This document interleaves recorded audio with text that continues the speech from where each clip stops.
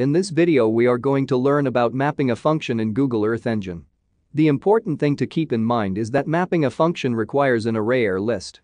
I will tell what exactly that means, but first let's understand how mapping a function actually works.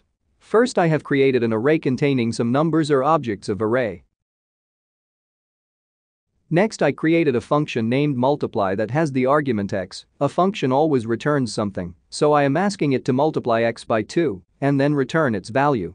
Finally let's map this function we created over the array.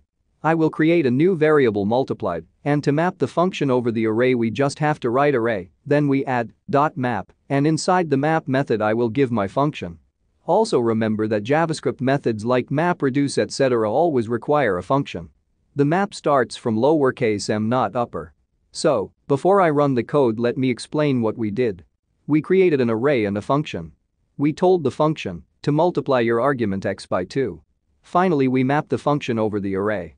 The map method will take every object of the array and iterate whatever function it is told and return us a new array with every element processed according to the function.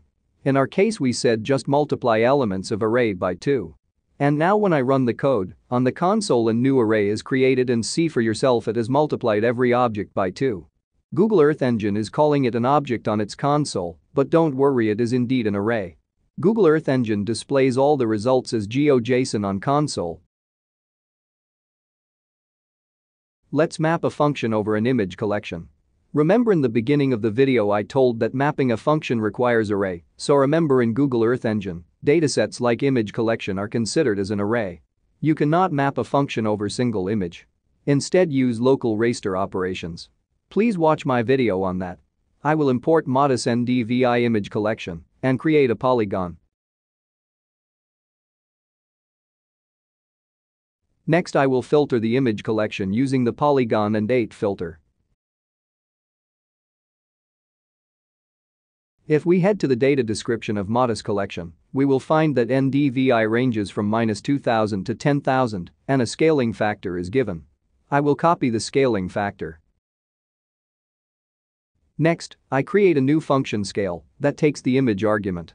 Inside the function I am telling it to multiply the image by the scaling factor we copied from Modis description. After that I have added the copy properties method, basically telling the function to copy the metadata of the image too. Next I map the function over the image collection we filtered. When I run the code a new GeoJSON is created. Let us quickly display the first image from non-scaled and scaled image collections and check whether scaling has been implemented correctly or not.